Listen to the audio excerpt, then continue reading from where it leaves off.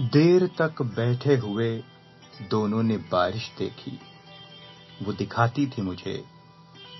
बिजली के तारों पर लटकती हुई बूंदें, जो ताकुब में थीं एक दूसरे के, और एक दूसरे को छूते ही तारों से टपक जाती थीं।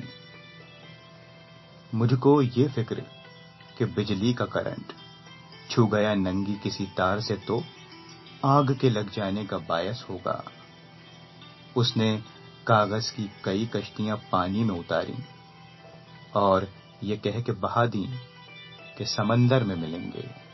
मुझको ये फ़िक्र कि इस बार भी सैलाब का पानी कूद के उतरेगा को शहर से जब।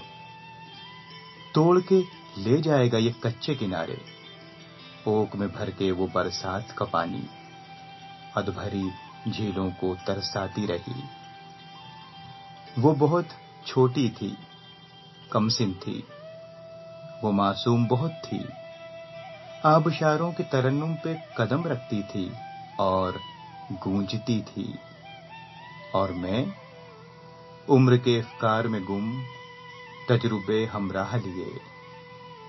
साथ ही साथ में बहता हुआ, चलता हुआ बहता गया।